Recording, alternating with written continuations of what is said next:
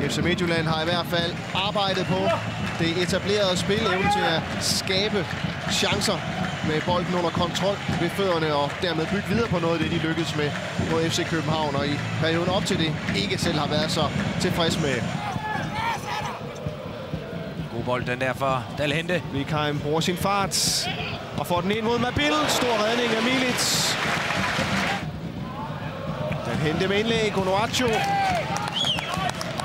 To mand forsøger at gå på ham, men der er ikke nogen, der kan få has på den store liga. Nej, der ser vi, hvilken fysik han har. Ja, Vikheim i hvert fald på spil igen. Vikheim trækker ind i banen. Blokering. Og Rømer forsøger i scene sætte omstillingen her. Det gør han rigtig godt. Rømer bliver slagtet. Christian Gregor Jacobsen får ikke lov at fortsætte. Ender med rødt kort. Ja. Direkte rødt kort til FC Midtjylland og til Erik Svirchenko. FCM har haft forrygende godt fat i den her kamp, men nu får de en mavepuster. Svirchenko får direkte rødt for den her nedslagning. Og man har strakt ben, og man har man ført dem igennem. Det er svært at se fra den vinkel. Nej, altså, jeg synes, den er god nok. Han kommer med ja, nærmest brutalt stor kraft. Nej, det synes jeg. Jeg synes, den er god nok. Dårlig aflevering på tværs af Rømer. Joel Andersson løfter den ind mod Mabil. Stor redning! offside, Ja, desværre. offside. Kan man sige. Men øh, Ja, heldigvis for Mabil, for han skal score på den, men Ja. desværre for Milet, for det var en super redning. Den her får lov at fortsætte hele vejen igennem Sparv. Og det er godt sparket afsted af Kian Hansen. Det er noget en reaktion, han får flækket den afsted Ja. mod målet med. akrobatisk afslutning også her. Spar var ikke helt klar over, hvor den er henne. Fremragende for Kian Hansen, og lige så flot redning af Milic. Det er meget godt lavet af en mand, der stort set aldrig laver mål. Det virker til, at Alexander Bar har lagt sig op på toppen, så de har to angribere nu. En læg fra Jeppe Simonsen. Mart Lider.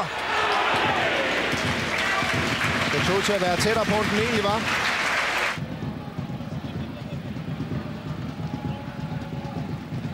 Lider tager bare med igen. Det er en god afslutning af Alexander Bar med venstre benet. Jesper Hansen må ned. Og det er efterhånden pil op for Sønderjyske med lidt mere end en time spillet.